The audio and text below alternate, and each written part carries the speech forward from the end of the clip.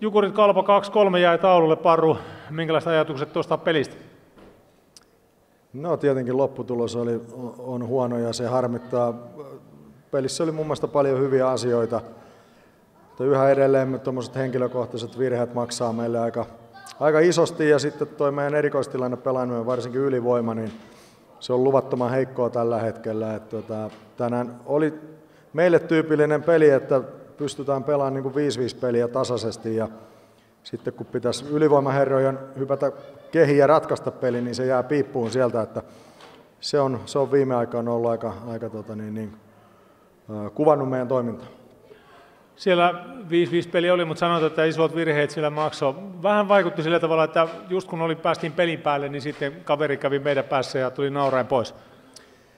No joo, tietenkin tuommoinen 60 minuuttia, niin ensinnäkin me otettiin, me otettiin hölmöjä jäähyjä, jäähyjä tänään ja siihen kuluu aika paljon energiaa, varsinkin tokassa erässä ja kaveri sai pitkiä pyörityksiä nyt ylivoimien päätteeksi ja, ja, ja tuota, se, niin kuin, se niin kuin luo, luo sitten tavallaan sitä kokonaiskuvaa siinä pelin aikana ja, ja, ja, mutta kyllä meillä niin kuin oli, oli hyviä, ei, en, en nyt sanoisi ihan tuolla, että ne tuli joka kerta naurajan pois, että kyllä meillä oli ihan yhtä, yhtä paljon laatupaikkoja ja, ja, ja olisi, olisi kyllä niistä noista paikoista pitänyt tämä, tämä peli voittaa koti.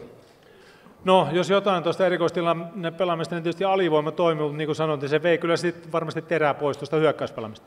Kyllä se, ja sitten siinä on muutama, muutama pelaaja, joka ei pelaa alivoimaa, niin heidän niin kuin tota niin, niin, pelituntuma ja rytmi, rytmi vähän hetkellisesti katoaa monesti, ja, ja, ja tota, tämä on iso kokonaisuus, että semmoinen ehjä 60 sinne sisältyy aika paljon asioita, ja tänään ei, ei, ei siinä mielessä ehjää 60 pelattu.